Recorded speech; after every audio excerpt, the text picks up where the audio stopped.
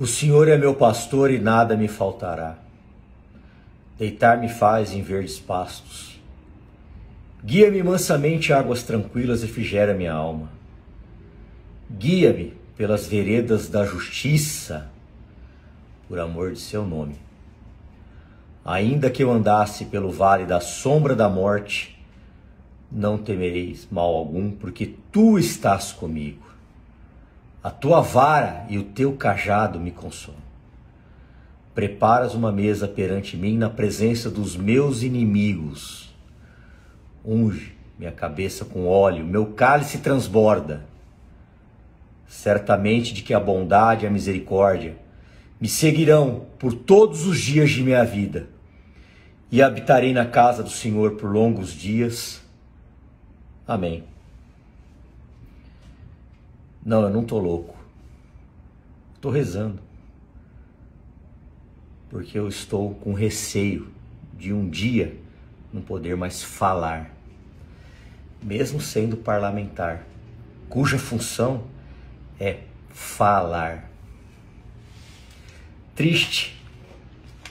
Eu não quero que conta nenhuma dos meus adversários políticos fechem, caiam sejam extirpadas, sejam banidas. Eu não concordo com nada que o Boulos fala, Janones, José Genuíno, que falou uma grande bobagem a respeito dos evangélicos. Mesmo assim, eu não quero que a conta dele caia. Eu não torço para isso. Muito pelo contrário. A democracia é isso. O parlamento é isso. É você discutir ideias. Eu não prego a violência. E não vou pregar nunca. Mas o que estão fazendo tá difícil de engolir. E se você não se incomoda com esse cerceamento do simples ato de falar, de se expor, de questionar, cuidado quando esse seu direito constitucional for também banido, talvez você não tenha com quem reclamar. Eu fui eleito deputado federal, mas eu não estou feliz. Eu não estou feliz não é porque o Lula ganhou, também. Bolsonaro perdeu. É porque eu estou vendo o que estão fazendo. Questionar agora virou motivo de punição. Não concordar com educação virou motivo de punição. Olha o que estão fazendo nas redes sociais. Quantas vezes você aí que está me assistindo já ouviu, viu e presenciou crimes, libidinagem, exploração sexual, venda de notas falsas pela internet? Tenta derrubar um perfil desse para você ver quanto tempo demora. Mas agora falar a gente não pode. Então resta-nos rezar. Eu não vou me acovardar, tem muita coisa que eu não concordo. E vou falar. Nem que tenha que pagar um preço muito alto por isso.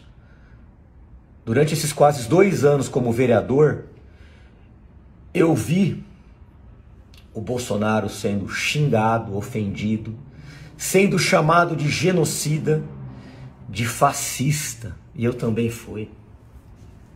Eu fui chamado de fascista pelo simples fato de tirar uma, for, uma foto com o meu uniforme assim. Na pré-campanha de vereador eu comecei a apanhar, porque me colocaram esse estereótipo. Eu ganhei as eleições e saiu uma matéria num grande jornal na Folha como delegado Palumbo reinaugura a bancada da bala. Eu nunca gostei desse termo, eu nunca me intitulei como da bancada da bala. Eu não gosto desse termo. Tem muita gente que fala que é da bancada da bala, mas que nunca prendeu nem o dedo na porta, nunca passou nenhum tipo de perigo e nunca foi para um ambiente hostil.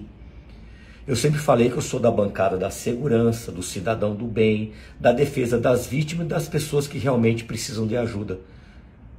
Inclusive daqueles trabalhadores mais humildes Eu sou um cara que todo mundo sabe, de direita, não sou extremista, não gosto de extremismo.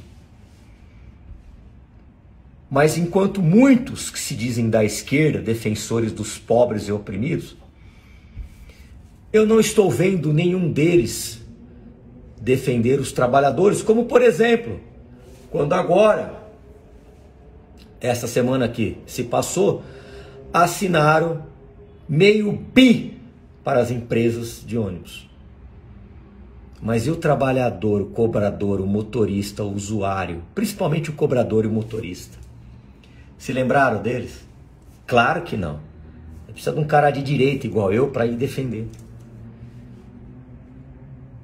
O que eu quero dizer com isso? É que o povo, aquele que sofre, ele está pouco se lixando se você é de direita de esquerda. Ele quer os seus direitos e garantias respeitados. Ele quer poder ganhar o seu salário, ele quer poder trabalhar. Agora, a partir do momento e que tentam impedir deputados de falar, parlamentares de falar, fica muito difícil, né? Isso não é democracia. Todos têm direito de falar com educação, com respeito, sem xingar, sem ofender e sem induzir ninguém à violência. Eu já abri lives aqui falando. E falo novamente: sou contra fechar as estradas a gente não pode impedir o direito de ir e vir das pessoas. As pessoas têm direito a se locomover. Mas manifestações pacíficas, ordeiras, sem violência, são plenamente justificáveis e aceitáveis. E isso é um direito constitucional. Agora, fechar a estrada, jogar bomba na polícia e vice-versa, aí já parte para baderneira. Eu não vejo pessoas de esquerda tendo suas contas suspensas. Eu vi um deputado falando, pelo menos num jornal, de que ele ia mandar o movimento dos trabalhadores sem terra e tirar as barricadas feitas por pela extrema ou pela direita. O que, que ia gerar isso? Violência. Tá certo isso? Claro que não. Nós temos que pregar a paz. Mas a partir do momento que a gente é banido até de falar, as pessoas estão com medo. Um monte de deputado está com medo de falar, está com medo de se expressar, com medo do que possa acontecer. Mas eu não vou me calar. Vocês não vão pegar nenhuma live minha incitando a violência, incitando a baderna, falando para fechar, para quebrar. Muito pelo contrário.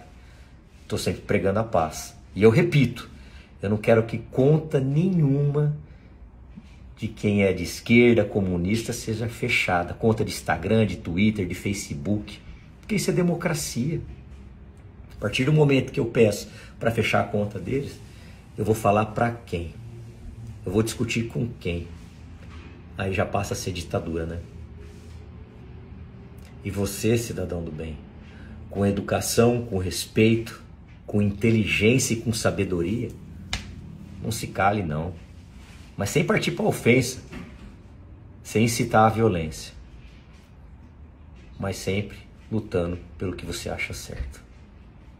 É só uma reflexão essa live, porque o que a gente está vendo e ouvindo é de assustar qualquer um. Que todas as contas de direita, de esquerda, de centro, de quem pensa diferente da gente, sejam mantidas. E que o direito de falar e de se expressar, previsto na Constituição Federal, seja mantido sempre. E que a justiça, a justiça, sempre prevaleça. E que nosso Senhor Jesus Cristo tenha piedade de nós. Porque eu não sei onde a gente vai parar. Uma boa noite a todos vocês. Que Deus abençoe com muita paz e justiça. Por último, eu queria dizer que o sistema é foda, parceiro. Tá aí como no filme Tropa de Elite. O sistema é foda, parceiro. Para bom entendedor, pinga letra. Deus abençoe Deus é conosco.